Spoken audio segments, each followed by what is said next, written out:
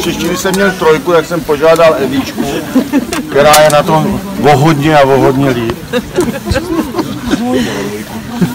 Adventní věnec je součástí katolické tradice. Skutečný původ je však nejistý. Existují důkazy o tom, že předkřesťanské germánské národy používali věnce se zapálenými svíčkami během chladných prosincových dnů jako znamení naděje v budoucí teplé a slunečné dny jara. Ve Skandinávii se během zimy umistovaly zapálené svíčky kolem kola a lidé se modlili k bohu světla, aby otočil kolo země zpět ke slunci, aby prodloužil dny a obnovil svět, teplo a světlo. Ve středověku si křesťané tuto tradici přivlastnili a adventní věnce používali jako součást své duchovní přípravy na Vánoce. Vždyť Kristus je světlo, které přišlo na svět, aby rozptýlilo temnotu hříchu a vyzařovalo pravdu a lásku Boží. V roce 1600 již měli katolíci i luteráni formálnější praktiky kolem adventního věnce. Symbolika adventního věnce je krásná. Věnec je vyroben z různých jehličnanů, značících nepřetržitý život.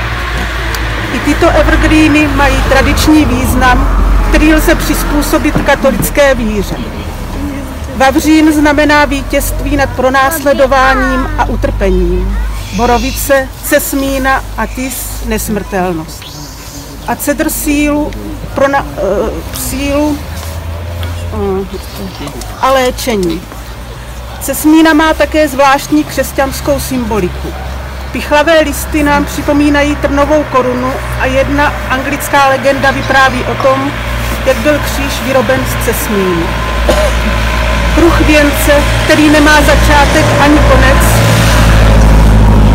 symbolizuje věčnost Boha, nesmrtelnost duše a věčný život nalezený v Kristu.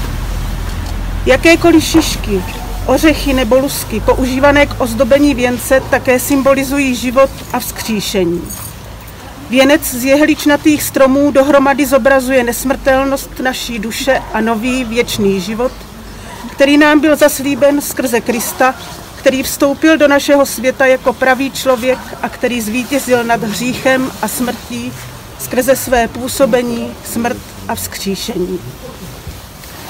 Čtyři svíčky představují čtyři týdny adventu.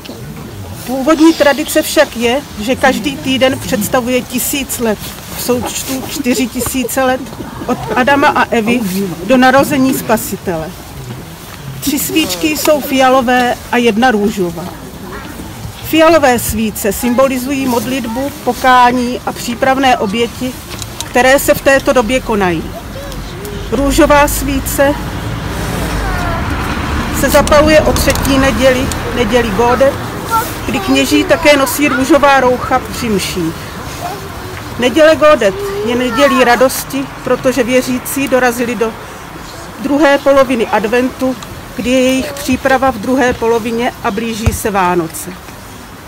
Postupné zapalování svíček symbolizuje očekávání a naději kolem prvního příchodu našeho pána na svět a očekávání jeho druhého příchodu, soudit živé a mrtvé. Světlo opět znamená Krista, světlo světa. Některé moderní úpravy zahrnují bílou svíčku umístěnou uprostřed věnce, která představuje Krista a zapaluje se na štědrý den. Další tradicí je nahradit tři fialové a jednu růžovou svíčku čtyřmi bílými svíčkami, které se zapalují po celé Vánoce. Takže teďka si zapálíme tu první svíčku a o první svíčce se říká tohle. V rodinné praxi se adventní věnec zapaluje nejmé, nejlépe v době večeře, po požehnání k pokrmu. Tradiční modlitba s adventním věncem probíhá takto. První adventní neděli otec rodiny požehná věnec a pomodlí se. Bože, jehož slovem je všechno posvěceno. Vylí své požehnání na tento věnec a dej, ať my, kdo ho používáme, připravíme svá srdce na Kristův příchod a dostaneme od tebe hojné milosti. Kdo žije a vládne na věky. Amen. Potom pokračuje každým dnem prvního adventního týdne. Pane, zbuď svou sílu, prosíme tě, přijď, abychom si díky tvé ochraně zasloužili být vysvobozeni z hrozivých nebezpečí našich hříchů a spasení tvým vysvobozením, neboť ty žiješ a vládneš na věky. Amen. Nejmladší dítě pak zapálí jednu fialovou svíčku. No, jelikož nevíme, kolik tady přijde dětí, aby jsme hledali, kdo je nejmladší, tak jsme se rozhodli, že standardně tu svíčku zase zapálí náš Jarošek. Jo, takže bych poprosil Jarka, jo, aby nám rozžil teda tu první svíčku. Jestli tady je, jo je. On byl vynervovaný.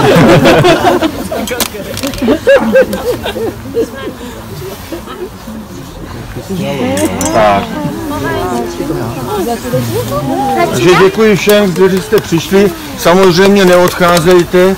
Podcenili jsme trošičku svařáček, ale už se dodělává, takže ještě už je, no tak tady to funguje perfektně. Takže může, ještě, můžete ještě se pobavit, nějaký novinky si sdělit a tohle a po, postát, teda protože není na čem, ale postát a povykládat.